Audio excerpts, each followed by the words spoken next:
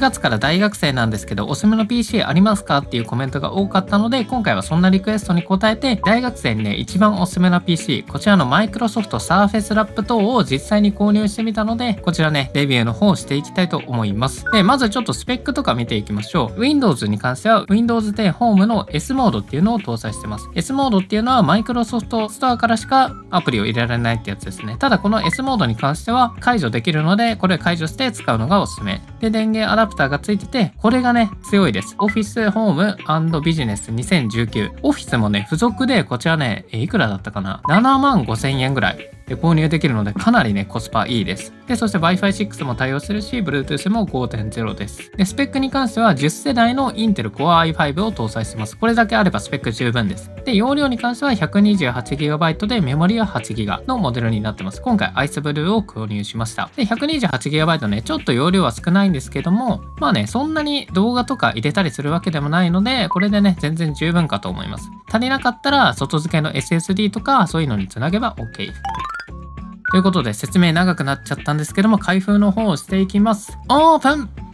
よいしょ。おーかっこいい。そう大学で使うってなるとねやっぱデザインとかも重要なんですよね。MacBook みたいにめっちゃシンプル。しかも小さい。おーあいいな。このサイズ感最高。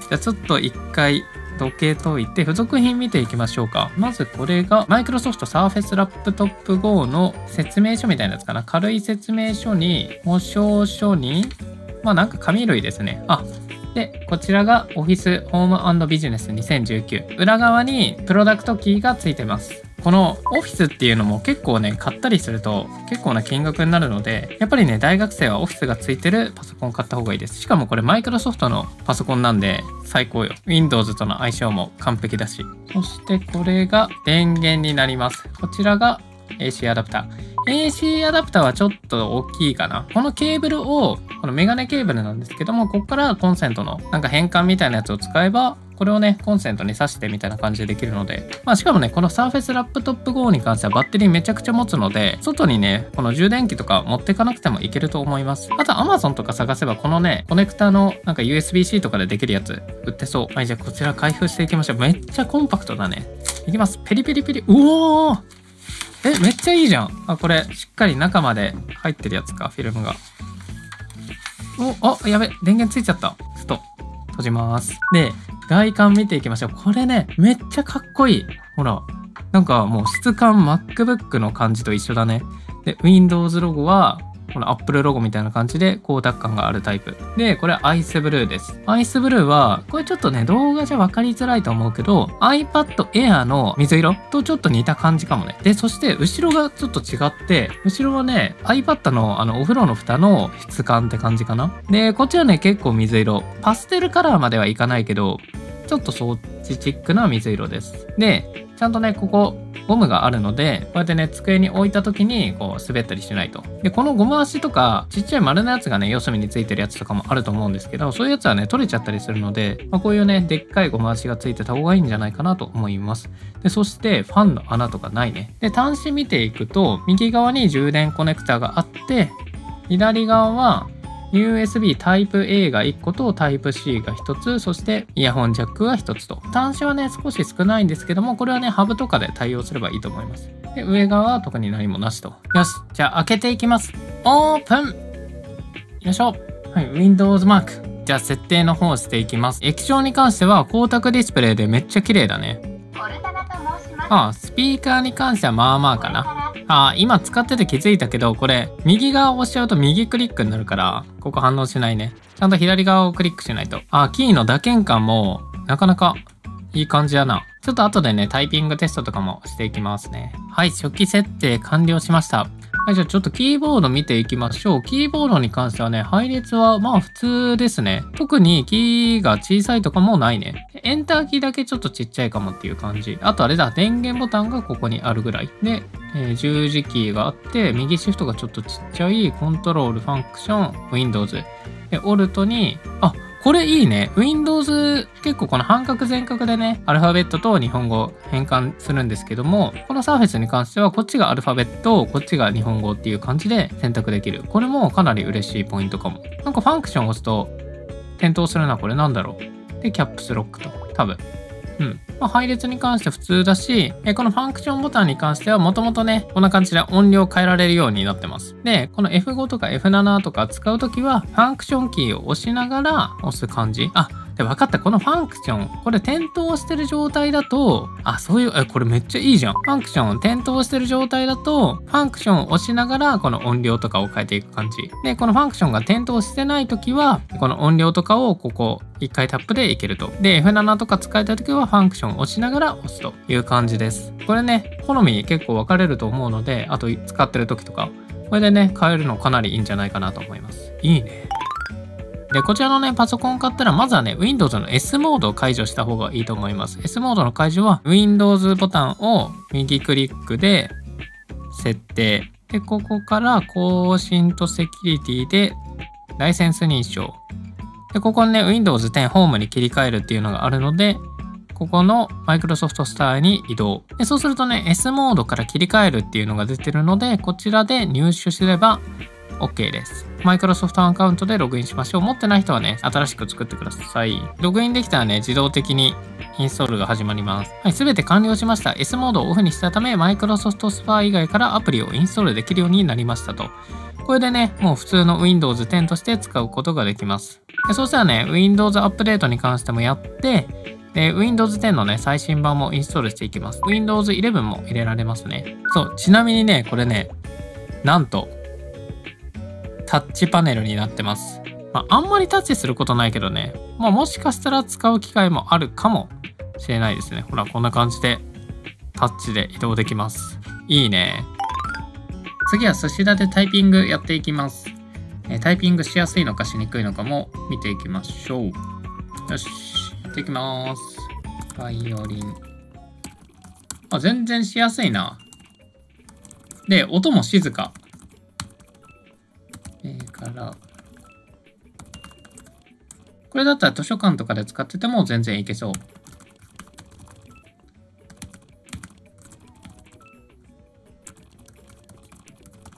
めっちゃ打ちやすい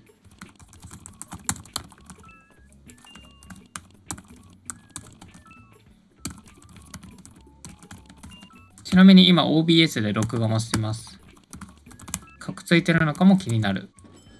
はい、まあ、こんな感じでね、タイピングに関してもかなり打ちやすいです。で、サーフェスに関してはね、こちらのトラックパッドもかなり使いやすくなってます。まず2本指で縦に動かすと、こんな感じでね、スクロールができます。スクロールができて、で、2本指で、え左右にね、こうスワイプすると、戻ったり進んだりすることができます。で、あとは2本指でピンチイン、ピンチアウト。こんな感じでズームすると画面のズームができたり、あとはね、3本指でこうやってスワイプすることによってアプリの切り替え。でそして3本指で上にスワイプすることによってアプリ一覧が出ます。であと4本指で横にスワイプすることによって仮想デスクトップっていうのをね、作って画面の切り替えなんかもできます。このサーフェスに関してはね、画面ちょっと狭めなので、こうやってね、え2つ仮想デスクトップを作るとか、えそういう使い方もありだと思います。で充電に関しては付属の充電器を右側の端子に挿します。でこの端子に関してはね、マグネットになってます。ピタッとくっつきます。で、挿すと、ここがね、点灯します。でこれもちろん逆向きも対応してます。で、これね、端子マグネットでくっついてるだけなので、足とかね、引っかかっちゃった場合でも、パソコンは引っ張られないで、この端子だけ抜けるので、そういった面でも安全です。で、反対側には USB-C ポートがあるので、こちらにね、USB-C の充電器をこんな感じに挿しても充電することができます。タイプ C 端子とモニターをつなげることによってね、外部モニターを使うこともできます。めちゃめちゃいいですね。なので、外ではノート PC として使って、家帰ってきたらモニターにつないで大画面で動画見るとか作業するとかもできます。でしかもタイプ C 接続であれば、充電もモニター出力も一気にできます。めっちゃ便利。シネベンチ測ってみました。CPU マルチコアが2705。シングルコアは1058になってます。マルチコアはもしかしたら熱とかの影響でちょっと遅くなってるかもしれないです。でそしてギークベンチのスコアに関してはこちら。シングルが1151でマルチが2960。でそして、オープンシエルグラフィックスコアが5854。で、バルカンで測った感じは4977になってます。まあ、性能に関しては普通に使えるレベルっていう感じで、特に問題はないかなと思います。ゲームとかは無理ですね。で、そしてね、今これ、マイク収録してるのが、サーフェス内蔵の音声になってます。マイク音質どうでしょうか？じゃあ動画の再生も試してみます。ポチッ。もう早いね。で、まずは 1080p から。1080p で、スキップ。あ、全然いけるね。かなりサクサク。スキップもスムーズ。そしたら次 4K いきましょう。4K にしました。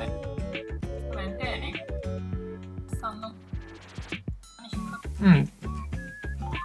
全然スムーズだね。4K 再生もいけます。次2倍速。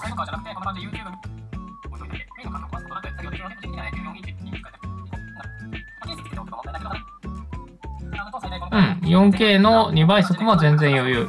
うん、全然いける。問題なし。じゃあ、スピーカーの音質チェックしていきます。撮ってるカメラは iPhone13mm です。やっていきます。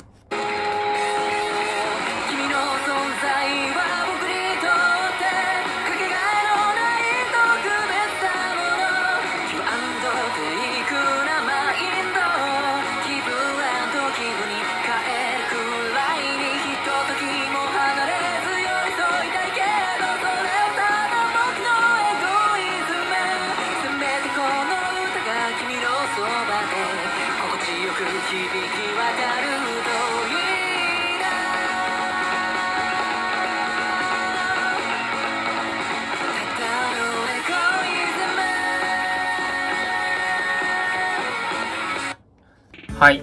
スピーカー音質に関しては微妙。Windows PC の中では普通っていう感じかな。はい、そしたらね、負荷減らすために画面直撮りでいきます。フォトショーとかプレミアとかライトルーム、この辺はね、動くのかっていうのを見ていきましょう。じゃあ、まずはプレミアからポンポン。さっきの 1080p で撮った動画読み込んでみました。ただ、ちょっとカット編集してみます。フル画質でやってみます。あ、2倍速もいけるね。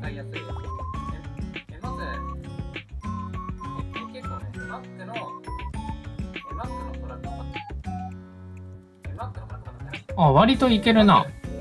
あ、でも結構、このタイムラインがかくついてるので、タイムライン何個も重ねてって、テロップとか入れてになるとちょっと厳しいかもな。ちょっともっさり感あるね。ちょっとテキストも入れてみます。さあ、S のレビュー動画。うん。ちょっとね、もっさり感はあるな。うん。じゃあちょっとこれでね、1分18秒の動画を書き出してみますか。H264 の YouTube1080p で、これで書き出してみます。いきます。せーの。はい。ちょっとタスクマネージャーも出します。メモリは仮想メモリ使ってる感じかなで、内蔵グラフィックス100%で使ってる感じで、CPU は4割ぐらい。でファンはちょっと鳴ってるね。はい。えー、7分15秒なんで、だいたい2分ぐらいかかりました。実時間の1.5倍以上っていう感じですかね。まあ、できないことはないっていう感じ。まあ、でも動画編集やるんだったらメモリはね、16ギガにした方が、まあ、快適かなとは思います。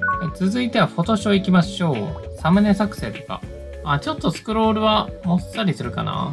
メモリは全然足りてるな。うん。移動できるし。あ、全然いけるな。そこまでスペック高くないんですけども、さあ、です。ラップトップ。ちょっとフォントがあれだけど。うん、全然サムネ作成とかもいけるね。まあ、すごい重い作業とかだったらちょっとわからんけども。軽いサムネ作成とか、そういうのは全然できそうな感じです。ということで、サムネイル作成もできます。あ、ちなみに、これサムネイルとかも、あれか、移動ツールで長押しで選んで、あ、なんかタッチパネルあんまできないかな。あ、でも一応反応してるな。うん。まあ、サムネイルもね、普通にできるかと思います。そしたら、ライトルーム。ライトルームで写真編集もやっていきましょう。ポンポン。はい、じゃあ写真の編集していきますか。写真は、あ、結構サクサク、こう、どんどん次の写真いってくれるね。あ、でもちょっともったい時もあるかな。ポンポンポンポンポン。あ、いけるね。で、色編集とかは、これこそタッチパネルいけそう。露光量とかを、こうやって調整して、で、コントラスト下げて、おー、これもスクロールできんだ。で、色温度の調整とかもここからできる。で、テクスチャーとかを、うん。あ、いいね。これはタッチパネル結構使える。写真のリタッチとかは結構いいかも。こんな感じでほんわりと。もちろんね、えー、タッチじゃなくて、こうやってマウスでもできます。いいじゃん。で、特に全然重くなったりもしないね。ライトルームも全然使えるね。ちなみにこの写真ね、α7 4の3300番画素のやつなんで、まあ、ちょっと重いはず。だけど、結構ね、サクサク動きます。軽いレタッチとかだったら全然できると思います。うん。いいね。最後、Surface Laptop Go の内蔵カメラと内蔵マイクを使って、良かったところ、悪かったところっていうのをまとめていきます。まず一つ目がね、オフィスが無料でついてくるっていうところ。これがね、めちゃめちゃ嬉しいと思います。やっぱね、大学生とかになると、ワードとか Excel とか PowerPoint とか、こういうのね、かなり使うと思うんですけども、それがね、無料で使える。しかも、マイクロソフト365とかと違って、年額とかでもないし、永久に無料で使えます。もう、この Surface Laptop Go、そのオフィス代を抜くと7万5000引く、まあ、約3万5000なんで、4万円で買えることになります。めちゃめちゃコスパいいです。え続いて2つ目、画面が綺麗。これね、光沢液晶を搭載してるので、かなり画面が綺麗に見えます。で、結構安いノートパソコンだと、こうね、画面の発色が悪かったり、あとはね、視野角が狭かったりして、作業してるとね、目が疲れちゃうっていうことよくあるんですけども、こちらのサーフェスに関しては発色も綺麗で、長時間ね、作業をやってても目が疲れにくい感じになってます。これがね、かなり嬉しい。続いて3つ目、マイク音質がいいこと。これもね、最近 Web 会議とかする機会が多いと思うので、かなり重要だと思います。ノイキャンも結構効いてるかな今ね、冷蔵庫の音結構してるんですけど、どうでしょうか？ノイキャンとかも聞いてるので、かなり聞き取りやすいと思います。Bluetooth イヤホンで相手の声を聞いて、マイクに関しては、Bluetooth のイヤホンのマイクは音質悪いので、Surface の内蔵マイクを使うっていう使い方がかなりいいと思います。微妙だなと思ったところ行きましょう。まず1個目、スピーカー音質が微妙。iPad とかね、iPhone とかって結構スピーカー音質良くて、それに慣れてるとね、この Surface のスピーカーに関しては結構音質悪いかなっていう感じで思うと思います。家で音楽を流しておくとか、そういったね、スピーカー用途には向かないかなと思います。MacBook とは全然違う音質です。でもなんかシャカシャカっていう感じじゃなくて、ちょっとこもってるような感じですね。解像感がない感じです。続いて2つ目。これもね、結構大きいポイントだと思うんですけども、解像度、フル HD ないです。1920×1080 なくて、1536×1024 っていうね、3対2のディスプレイになってます。なので、こう、画面を分割して2画面で使うとかっていう使い方だと結構厳しいかなと思います。まあ、ただデスクトップを2つ作って、こうやってね、スワイプで2個を移動させれば普通に使える感じです。まあ、1つのタスクに集中できるっていう面ではいいと思います。続いて3つ目、え、ゲームができないこと。これね、普通の Web 閲覧とか動画見たり、で、あとは超軽い編集とか、写真のレタッチとか、そういったものにはね、対応するんですけども、グラフィックを多く使う 3D のゲームとかっていうのはできないので、その点だけ注意してください。まあ、青鬼とかね、そういっためちゃめちゃ軽いやつは普通にできます。まあでもね、ゲームができないってことは、こう遊ぶことががないので、まあ、サボらないっていう点ではいい点かなと思います。で、続いて最後4つ目。4つ目に関しては光沢液晶なので、自分の顔が反射すること。これがね、結構デメリットに思う人もいると思います。後ろの照明とか、まあ、例えば今こうやって自分の方を向けてるんですけども、こう、パソコンを近くすると、こんな感じのね、角度で使うことも多いと思います。そういう時に、こう、天井のね、照明が、こう、画面に反射して眩しかったりすることがあるので、その点だけね、ちょっとデメリットかなと思います。それぐらいですかね。で、実際ね、このパソコン7万5000円で購入して、いろいろと使ってみたんですけども、本当にね、コスパかなりいいし、大学生でパソコンどれ買おうか迷ったらもうこれ選んどけば間違いないです。筐体もめっちゃかっこいいし、USB-C で充電できるし、軽いし、タッチパネル対応だし、メリットたくさんあるので、ぜひこちらの Surface Laptop Go を買ってみてください。概要欄に Amazon のリンクと、あと最安価格はね、価格 .com なので、価格 .com のリンクも貼っておきます。Surface Laptop Go のレビューでした。バイバイ